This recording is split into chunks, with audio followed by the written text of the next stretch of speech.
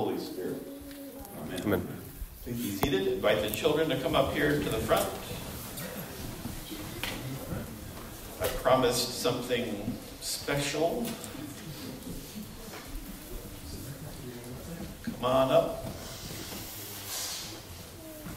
Hi. Want to sit on the step? Okay.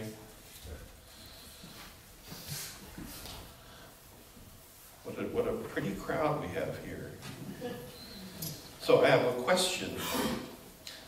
Actually, I, I want to tell you about a, an app that I have on my phone. It's called Zombies Run. and uh, I listen to this when I'm running. And it's like a story in my earphones.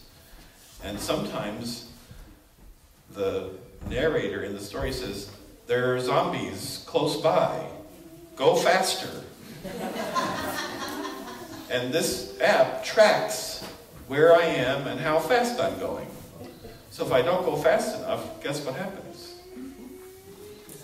The zombies get me, and I lose all my prizes that I've won so far on the run.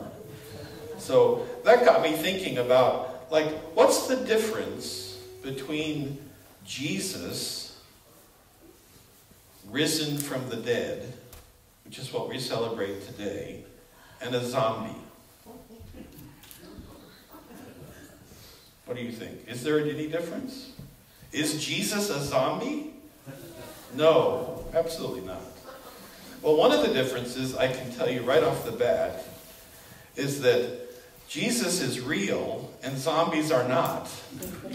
Right? Zombies are pretend. They're, they're like legend. The other difference is that zombies are what some people call the living dead. Heard that before?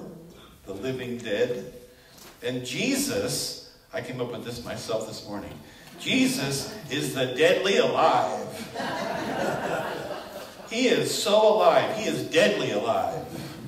Risen from the tomb. He's so alive that his life blasts away sin and death.